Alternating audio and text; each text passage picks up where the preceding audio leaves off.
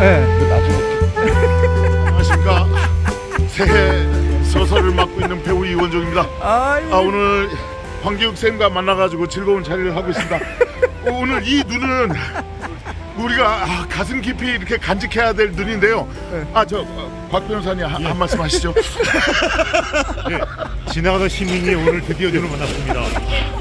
아니 어쩌다 이- 지금 이 길을 지나가게 되었나요? 이 펑펑 내리는 눈 때문에 제가 아 사무실 요금방에 있다고 했죠? 네, 지금 걸어가면 한 2시간 반 걸리는데 아, 네. 거기서 이렇게 우연히 만났습니다. 아, 저기 멀리서 보니까 배우 김규리 씨가 걸어. 어, 규리 씨.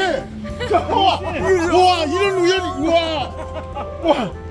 어 정말 대한민국에서 가장 예쁜 축에 속하는 0.0아 이거요 진짜 유명한 카메라인데요 황교익 TV 네네네네 알죠 그거 이제 내년이면 망할 거예요 자 규리 씨는 어디 가던 길인가요? 안녕하십니까? 저는 배우 김규리입니다. 지금 네, 네. 동묘에 나와 있는데요. 네. 여러분 보이시죠? 어,